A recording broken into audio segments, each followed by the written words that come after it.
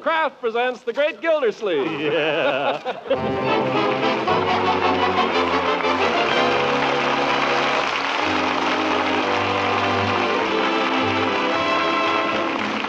Kraft Cheese Company, makers of Parkay margarine and a complete line of famous quality food products, presents Harold Peary as The Great Gildersleeve. Kraft brings you The Great Gildersleeve every week at this same time, written by John Wheaton and Sam Moore, music by Claude Sweeten.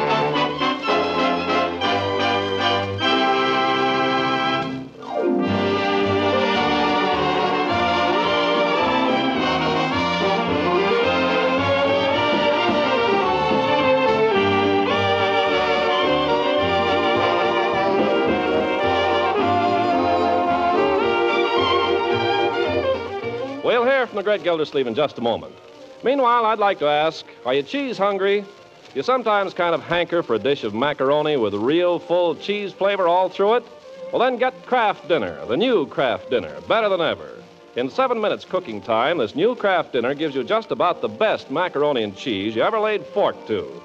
You see, each package of Kraft Dinner gives you a special macaroni that cooks to fluffy tenderness just in boiling water.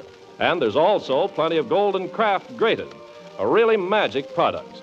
With this Kraft grated, you sprinkle swell cheese flavor through and through that macaroni. With Kraft Dinner, you make top notch macaroni and cheese as fast as you make the dinner coffee. Try it soon. Folks who are really fussy about macaroni and cheese rave about the new Kraft Dinner. Ask your food dealer tomorrow for several packages of Kraft Dinner.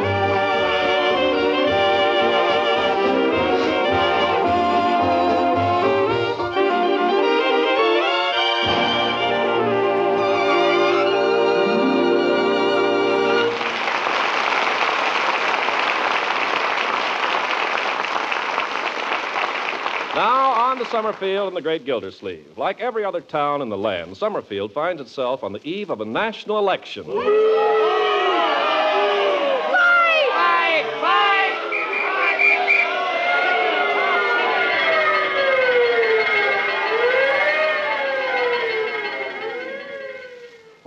so it goes. But the hottest discussion in Summerfield seems to be over the campaign for mayor. So let's drop into the office of the newly reappointed water commissioner and listen in. Don't make me laugh, Judge. Don't make me laugh. Terwilliger may be no rose, but who ever heard of Welch? Welch doesn't stand a chance. There, I must beg leave to differ. Art Welch will be elected mayor of Summerfield on Tuesday next. Art Welch will be the forgotten man on Tuesday next. Welch will be elected mayor. You said that before. I say it again. Judge, put up or shut up. I'll make you conservative bet of $1,000 that Welch doesn't come within a mile of being elected. I'll bet you 5,000 that he wins with a plurality of over 800. I'll bet you a million he doesn't. I'll bet you 5 million he does. I'll bet you 10 million he doesn't. Well, now you're just talking like a fool. All right, is it a bet? Yeah, it's a bet. $10 million. $10 million. Look, Judge, if you want to bet, let's bet. 50 cents? I never bet money on elections. You're afraid. It's against my principles. Judge, if Cyrus P. Terwilliger is not reelected mayor of this town on Tuesday next, I will personally push a peanut up the middle of Market Street with my nose. My friend, you've got a bet. Uh, make it State Street. Market Street's got cobblestones.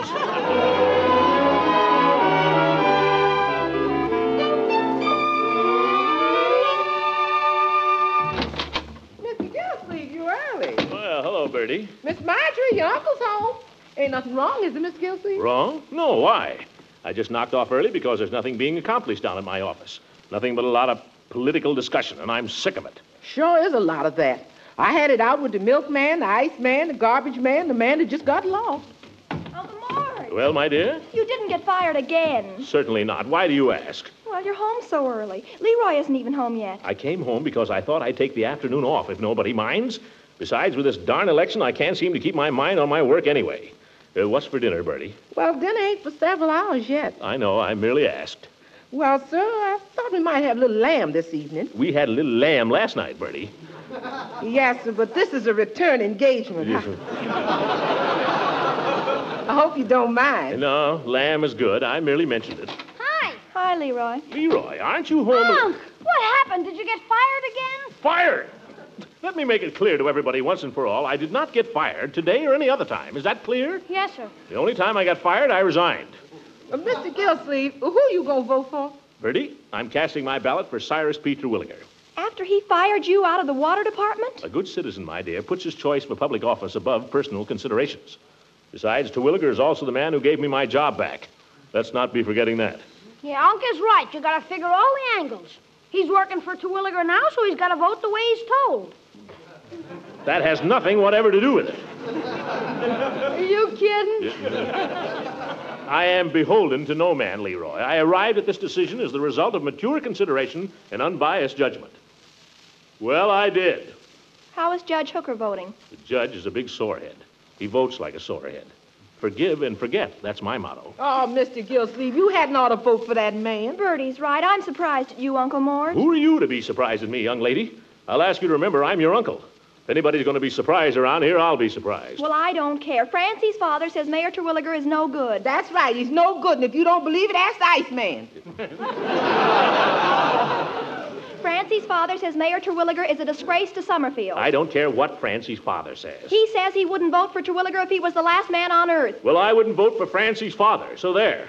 Ye gods, can't a man have any peace around here? I come home early from the office because I can't stand all the politics, and what do I get? By George, I'm going out.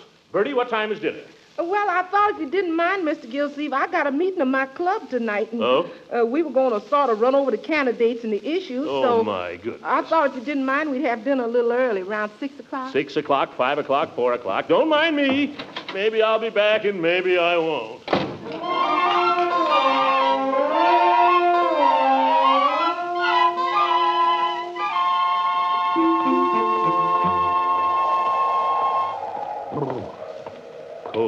Hi, Commissioner. Huh? Oh, hello, Floyd.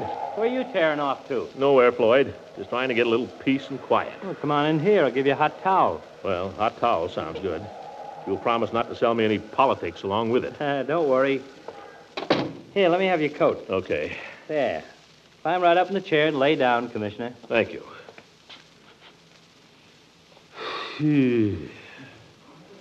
this wouldn't be a bad place to spend the day. Well, suit yourself. We can start at the top of the price list and give you the works.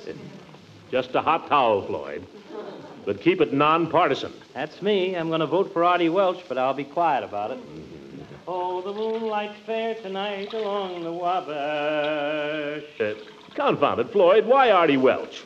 Thought you wanted to stay off that subject. Well, I do. But when I see a man planning to vote wrong, uh, Artie a customer of yours? Nope. Gets his hair cut over on State Street.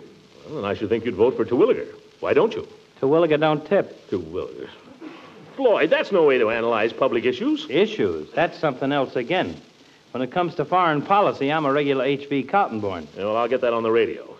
I don't see how you figure that a man like Welch is qualified to be mayor of this town. Terwilliger is a real administrator. Mr. Gildersleeve, if I was Terwilliger's water commissioner, I'd say the same. That has nothing to do with it.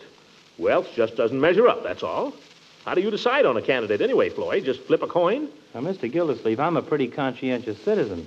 I got my own system of picking candidates, and it's a pretty good one. Yeah, what is it? Well, it involves the wife, Mr. Gildersleeve. Well, that's nothing to be ashamed of. That's fine. Good idea for a man and his wife to talk these things over. I guess you never met Mrs. Munson, did you? well, no, I never did. Why? Well, I don't like to knock her. She's okay, as women go. I never had any regrets, particularly. Of course, once in a while she might pass a remark that's a little uncalled for, but then I'm no angel. She knows that, too. What's all this got to do with voting? Oh, I'm coming to that. Like I say, the babe is okay most ways, keeps the house clean, she don't throw money around, and she's a fair cook, if you like everything fried. but on politics, brother, they never should have give her the ballot. And why do you consult with her about your vote? I don't. I just ask her how she's going to vote, and I vote the opposite. Floyd, you're a political ignoramus. I ain't dumb enough to vote for Terwilliger. Oh, let me out of here. I thought you wanted a hot Let me out of here. Ye gods, can't I go any place without having politics shoved down my throat?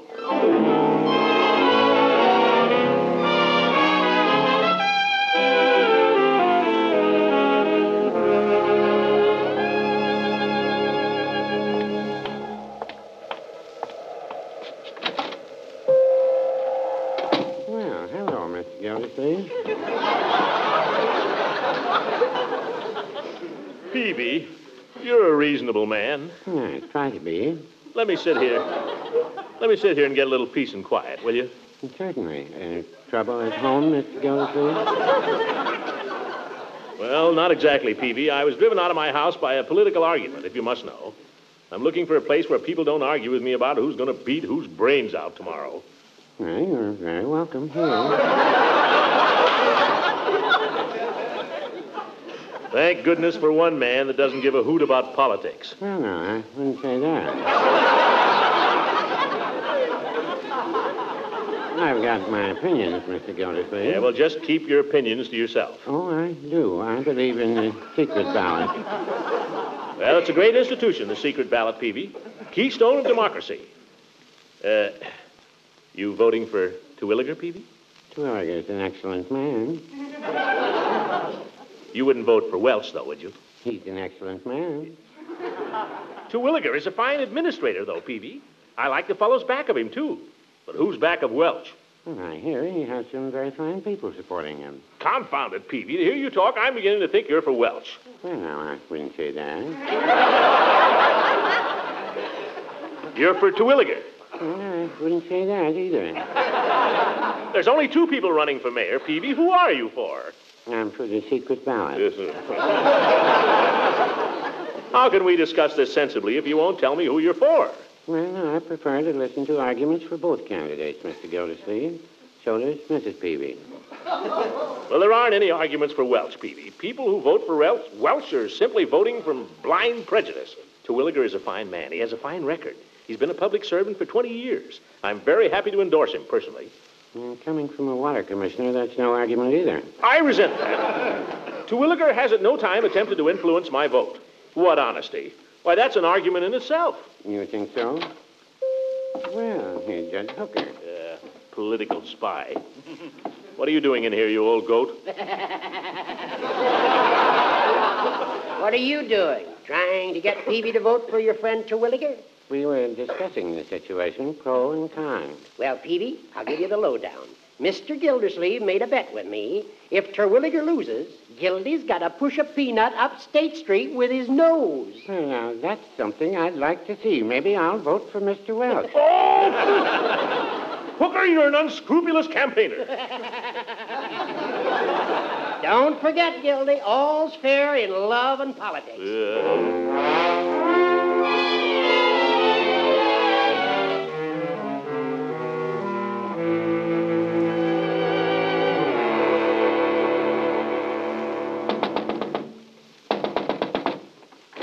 Eve, Throckmorton. let me in, Eve. Let me in. They're after me. Who? I don't see any. There. Well, who's after you? Nobody. Joke. Oh, Throckmorton, you fool. what you doing, Eve? Oh, nothing really. I just got home and I built a fire and I was going to make some tea and just relax. Will you come in? Well, if you insist. Ah, a crackling fire. Mm-hmm. Do you want to sit there? I know. Uh, let's pull the sofa over, huh? Let's pull it up in front of the fire so we can. That's uh, not a sofa, Throckmorton. It's a love seat. Who am I to argue? Here, oh, I'll do that, Eve. Let me. Oh, you can't handle it all alone. No, you watch me. Nothing but a little. Uh, nothing but a little love seat. Uh, You're wonderful. Now you sit down and enjoy the fire while I go and Eve. I'll be right back. I'm just going to make the tea. Oh, forget the tea. Well, if you don't want it. That's the girl. Sit down. Hmm.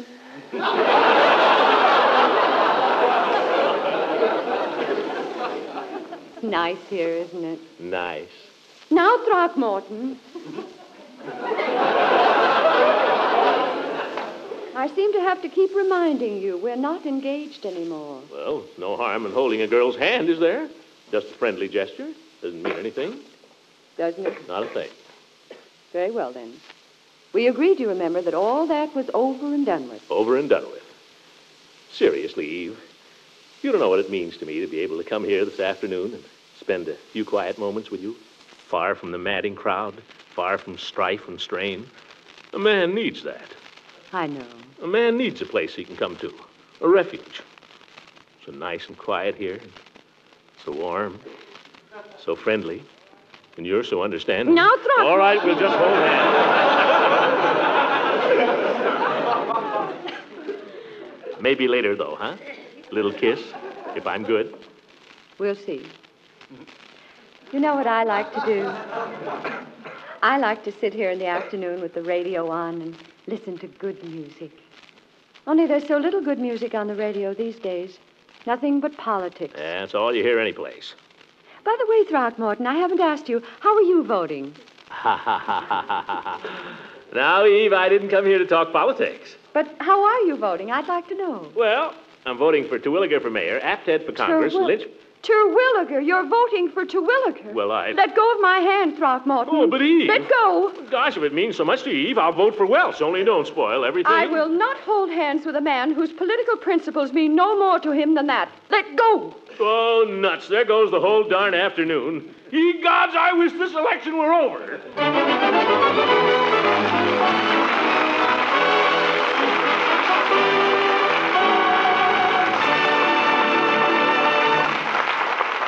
Great Gildersleeve will be with us again in just a few seconds.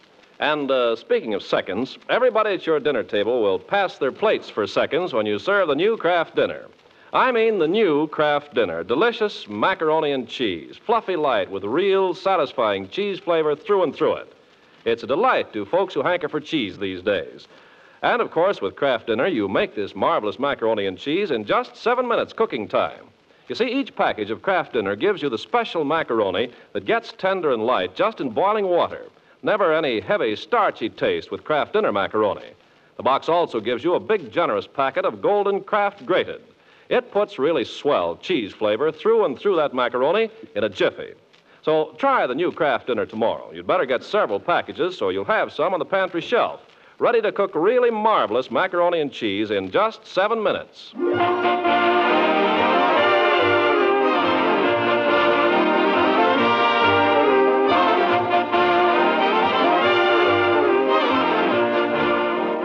Now let's return to Summerfield and the Great Gildersleeve. Comes the dawn of Tuesday, November 7th, and what a day for an election. Since early morning, the rain has come down in torrents. Gildersleeve has spent a good part of the day standing at the front window waiting for the rain to let up and trying to summon up enough enterprise to go out in it. Now, in desperation, he goes to the phone and calls up Judge Hooker. Hello, Judge. Yeah, fine day for ducks. Look, Judge, I've been thinking. As long as the weather is so bad and you and I are going to vote on opposite sides anyway, why don't we make a deal? If you don't go to the polls, I won't go to the polls. In that way, we'll just cancel each other out. Yeah, how about it? Great. No use getting wet for nothing. Okay, Judge. Consider your vote canceled. Yeah. Goodbye. If I don't watch out, I'm going to be a genius. Why didn't I think of that before? Now I can go take a nap with a clear conscience. You mean you're not going to vote? You're not going to vote at all? Well, I don't need to, my dear. Yeah, it may be better than voting for Terwilliger at that. The judge and I see just opposite on everything, so by staying away from the polls, we merely cancel out each other's vote. What if everybody in the country were as lazy as that? Laziness has nothing to do with it. Plain common sense. You see what the weather's like. Man could catch cold out there. it's our duty in these times to. Our duty in these times to guard our health. Besides, I'm down to my last A ticket. Uh, excuse me if I go out the front way, Mr. Gilsleeve. There's a lake around the back stoop. Oh, where you going, Birdie? Going out to vote. I told you, Birdie, if you wait a little while, it'll clear up. I've waited all I can wait. I'm going to get down there before it run out of ballots. you don't have to worry about that, Birdie. They got ballots enough for everybody. I don't care. If I was to wait, maybe I'd get took with appendicitis or something, so I couldn't vote. But if you go out, you'll get wet. Oh, a little water never hurt nobody. Got my umbrella and got my galoshes and I got my sample ballot. Well, gosh, Birdie, I'd be glad to drive you down there, but I'm down to my last gas ticket. What's in the tank has got to last me till the new ones come due. Oh, that'll be all right, Mr. Gilsleeve. I don't mind. Tell you what, Birdie, why don't you and Lily Bee do what Judge Hooker and I are doing? Just cancel out each other's vote. No, Mr. Gilsleeve, you can't talk me out of it. My mind's made up. I got my candidates and got my issues straight for once, and I'm ready. I got to vote while the spirit's on me. yes, sir. I'm exercising my franchise. Hallelujah. Yeah, she's a fine woman. Fine woman. Well, what are you children staring at? I'd have driven her down there, only I haven't got any gas. None to speak of. Don't you see, if the judge doesn't vote and I don't vote, it comes out even, just the same, doesn't it? Marjorie, go upstairs and write a letter or something, will you? You make me nervous. I'm going. Don't worry. Only wish I were 21, that's all.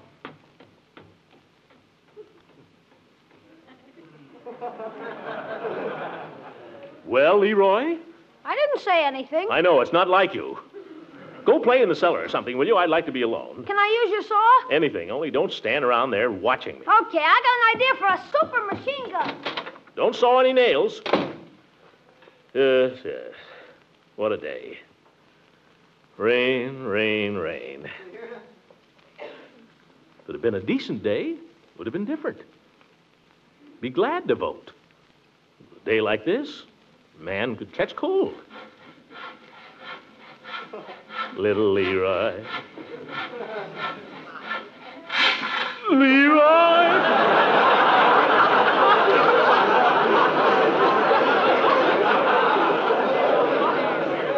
That's the last time he uses my saw.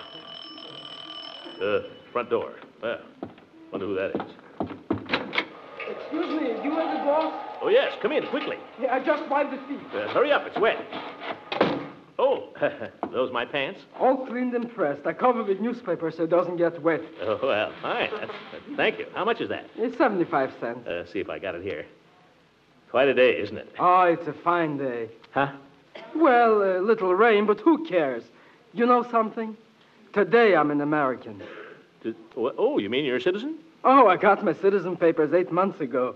But today, for the first time, I vote. Oh, That's a great thing, you know, to vote. yeah, guess it is. Sure. In the country I come from, nobody votes. There, a man doesn't even open his mouth. And why? He's afraid. Here, nobody is afraid. He votes, so I vote. Well, that's fine. Sure, six o'clock this morning I vote. Maybe it rains a little, what do I care? They open the polls, I'm the first man in. The first man in Summerfield to vote. That's me, Morgan. Uh, what'd you say your name was? Well, uh, my real name, it's a little difficult. Uh, Megunin. Who can say that, so I choose a nice American name, Morgan. What was wrong with Rockefeller? Uh, Rockefeller. Uh, that's a little hard for some people to say, too. What's the difference? My friends call me Leo, so that's how I vote. Leo Morgan. You know, I'm so excited. I walk in there and I say, Good morning. I've come to vote. So they say, Just a minute. What is your name? Like I was a foreigner or something. So I say, Leo Morgan, I'm a citizen. So then they look in a big book, and I'm getting worried. Maybe they forgot me. Maybe I didn't do something I should. Oh, I'm so worried. And then what do you think? I'm in the book. Great. Yeah, me, Morgan. me, Morgan, I'm in the book. So I sign my name. I did I, did I? And the gentleman, he gives me a big ballot all my own, and he takes me to a little, uh, like a little room. Uh, a booth. Uh, that's right, a booth. All by myself. Nobody else. It's fine. The gentleman says to me, "Eh, Take your time. I say, Thank you very much. And he pulls the curtain so I won't be bothered. Such privacy. I'm not used to it. At home, we used to sleep four in a room. So uh, I, I'm all alone in there. I did I did I. I take my time and I look over my ballot and I vote. Maybe I didn't vote right, but I voted. And whoever gets elected, that's my president. Well, Morgan, by George, you're all right. Sure, I'm all right. And I'll tell you another thing. This country is all right. Hey, Unc. Oh, oh, Leroy, uh, come here, my boy. You know Mr. Uh, Morgan here? Oh, hi. Your boy? Uh, he's my nephew. Fine boy. He'll be voting too one of these days, huh? Uh, yes, I suppose so. Yeah, I got a son, uh, Gregor, a little younger. He goes to school. Gregory? I know him. He's in the 4A, a little punk. Yeah, a little punk. Yeah, I know him. That's my Gregory. Well, I, I should be leaving. I talk too much. Oh, not at all. Uh, as a matter of fact, I'm very glad you dropped in, Mr. Uh... I get so excited I forget the pants. Here. Oh, yes, thanks. Goodbye. uh, goodbye. What's the matter, Unc? Uh, nothing, Leroy. I wonder if you'd be good enough to run upstairs to my room and get my car keys. Sure. You going someplace, Unc? Yes, Leroy. I'm going to vote. Yikes! Can I go with you? I don't see why not. Hey, hey, wait. What about Judge Hooker? Uh, Hooker, what about him? Well, you made a deal, didn't you? Are you going to tell the judge you're voting? There's an old saying, Leroy, invented by Judge Hooker. Quote, all's fair in love and politics, unquote. oh, what a character.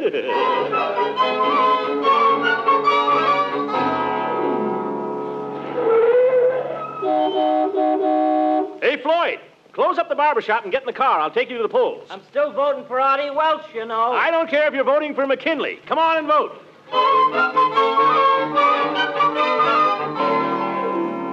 Come on, fold up your umbrella, Peavey, and get in. Hmm, thank you, Mr. Gildersleeve. By the way, I'm voting for... I don't care, Peavey. This is a nonpartisan, patriotic bus service. Here we go.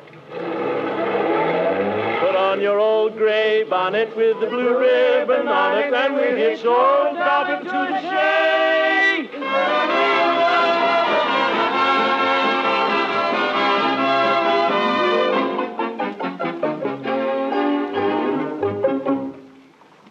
Well, here's my ballot, Mrs. Farquhar.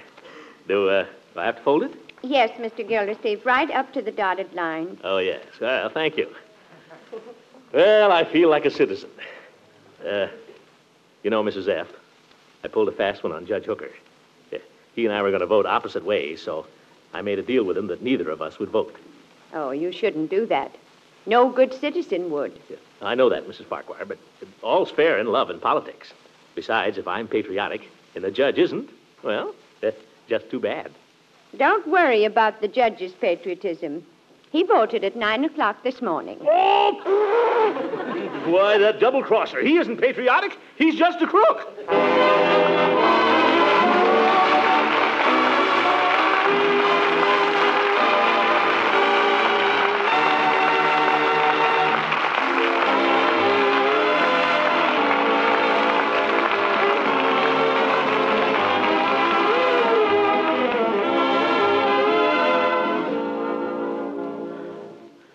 Ladies and gentlemen, the returns aren't in yet. I may have to push a peanut up State Street with my nose. but at least I voted. You know, there are people in this world who haven't the chance to vote. They know that privilege, and they know what it's worth. Here in this country, we're inclined to take it for granted. But now that the Japs and the Germans are trying to take that right away from us, look at how this country is willing to fight for it. Well, if it's worth fighting for, it's worth going to the polls for.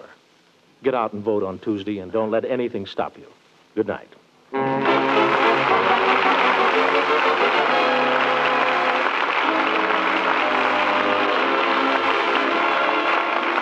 on this program was directed by Claude Sweet. And this is Ken Carpenter speaking for the Kraft Cheese Company, makers of Parkay margarine and a complete line of famous quality food products. Kraft invites you to listen again next week at the same time for the further adventures of the Great Gildersleeve.